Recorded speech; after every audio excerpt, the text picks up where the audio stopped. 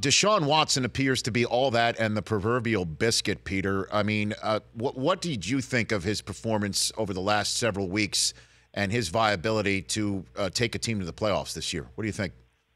Well, I think one of the big things about Deshaun Watson is that, um, you know, and I've said this ever since the scouting combine. I, I pride myself really on, I don't want to say pride myself, but I, I fully admit that I watch very little college football. The only college football I've watched this year are the Saquon Barkley highlights. Yeah. And this just in, he might make it. right. Um, so, so, so I don't know very much about college.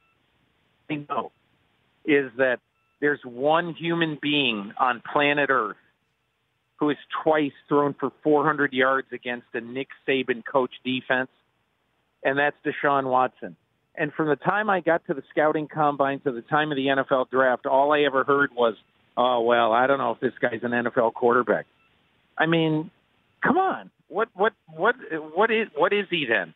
I, I don't I, I don't know what the big difference is. I do know that that spread quarterbacks and option quarterbacks and and and uh, you know shotgun uh, exclusive quarterbacks. I I understand that that's an adjustment, but we have gotten this thing into our heads that because so many of them don't really make it or, or have trouble making it, that somebody really can't make it, and they don't want to take, and people don't want to take a risk.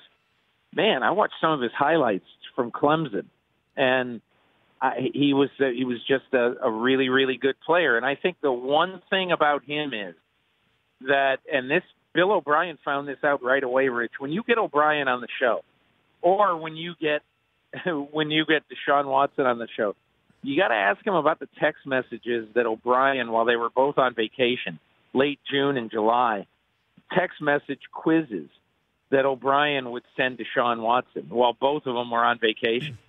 And Watson aced them all. And so this is this is not a shock, I think, to people who know him well.